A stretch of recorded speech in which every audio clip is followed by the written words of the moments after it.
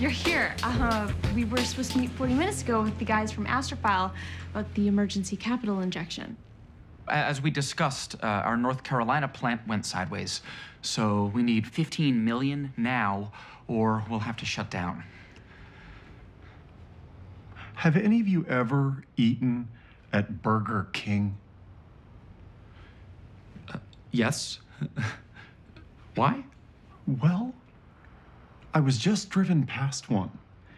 And while I know their market cap is $7 billion plus, I realize I am unfamiliar with their offerings. Okay, fine. But what does that have to do? Is it popular among your peers? Is it enjoyed? People seem to like it. That's okay. And their selection consists solely of these burgers, of which they are presumably king. They have other things chicken, fish. Um, I'm sorry, what, what, what are we doing here? Here's what we will do Monica, have one of the assistants go to the nearest Burger King location and purchase one of everything.